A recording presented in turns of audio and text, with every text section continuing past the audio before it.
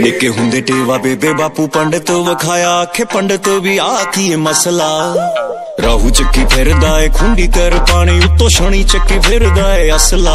ਉਹ ਬਾਕੀ ਮੰਗਲ ਤੇ ਬੁੱਧ ਮੂੰਹ ਦੇ ਮਾਰਦੇ ਨੇ ਠੁੱਡ ਵੀਰ ਸ਼ੁਕਰ ਚ दारू ਦੀ ਗਲਾਸੀ ਲਿਖੀ ਐ ਨਹੀਂ ਠੋਡੇ ਕਾਕਾ ਜੀ ਦੇ। ਕਾਕਾ ਜੀ ਦੇ। ਲੇਖਾਂ ਵਿੱਚ ਵਸ ਬਦਮਾਸ਼ੀ ਲਿਖੀ ਐ ਨੀ ਤੁਹਾਡੇ ਕਾਕਾ ਜੀ ਦੇ। ਲੇਖਾਂ ਵਿੱਚ ਵਸ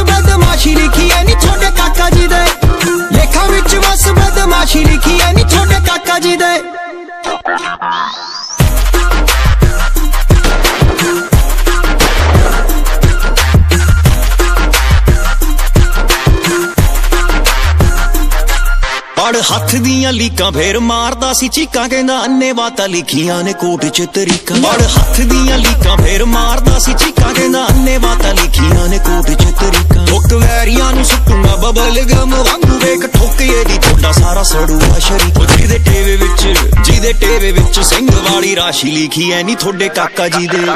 ਲੇਖਾਂ ਵਿੱਚ ਵਸ ਬਦਮਾਸ਼ੀ ਲਿਖੀ ਐ, ਨੀ ਤੁਹਾਡੇ ਕਾਕਾ ਜੀ ਦੇ। ਲੇਖਾਂ ਵਿੱਚ ਵਸ ਬਦਮਾਸ਼ੀ ਲਿਖੀ ਐ, ਨੀ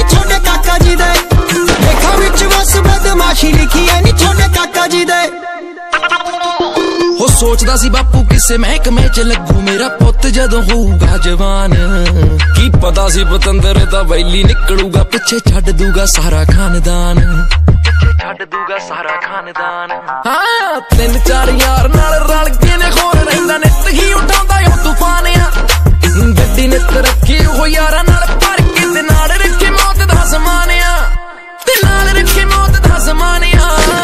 ਖੇਤਾਂ ਵਿੱਚ ਜਾ ਕੇ ਕਦੇ ਜੀਰੀ ਝੋਨਾ ਲਾਊ ਗਰੂ ਵਾਰਦਾ ਤਾਂ ਸਿੱਧਾ ਮੁੰਡਾ ਟੀਵੀ ਉੱਤੇ ਆਊ ਨਾ ਇਹ ਖੇਤਾਂ ਵਿੱਚ ਜਾ ਕੇ ਕਦੇ ਜੀਰੀ ਝੋਨਾ ਲਾਊ ਗਰੂ ਵਾਰਦਾ ਤਾਂ ਸਿੱਧਾ ਮੁੰਡਾ ਟੀਵੀ ਉੱਤੇ ਆਊਗਾ। ਲੋਕੀ ਤਾਂ ਸਲੂਟ ਬਾਡੀਗਾਰਡਾਂ ਤੋਂ ਵਜਾਉਂਦੇ। ਜੱਟ ਤਾਂ ਸਲੂਟ ਥਾਣੇਦਾਰਾਂ ਤੋਂ ਵਜਾਊ। ਮੁੰਡੇ ਕਹੀ ਜਗ੍ਹਾ ਲੋਹੇ ਦੀ ਗੰਡਾਸੀ ਲਿਖੀ ਐ ਨਹੀਂ ਤੁਹਾਡੇ ਕਾਕਾ ਜੀ ਦੇ।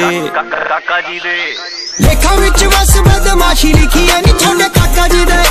ਲੇਖਾਂ ਵਿੱਚ ਵਸ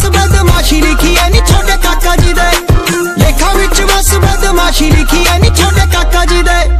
ਕਾਕਾ ਜੀ ਦੇ। ਕਰਤੇ ਕਾਰਨਾਮੇ ਜੜੇ ਜੱਟ ਨੇ। ਖਿਆਲ ਕਿਸੇ ਨੂੰ ਆਇਆ ਨਹੀਂ ਹੋਣਾ। ਲੇਖਾਂ ਵਿੱਚ ਲਿਖੇ ਜਿਹੜੇ ਦੋਸ਼ ਜੱਟ ਦੇ। ਪੰਡਤ ਵੀ ਕਹਿ ਗਿਆ ਉਹ ਇਹਦਾ ਉਪਾਏ ਨਹੀਂ ਹੋਣਾ।